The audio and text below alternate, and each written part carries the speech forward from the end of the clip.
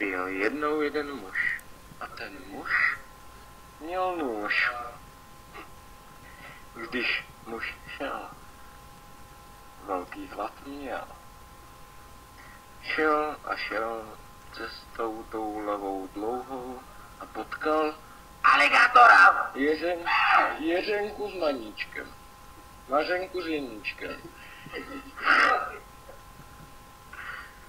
Když došli perníkové chaloupce, přišel neočekávaný nezvrat.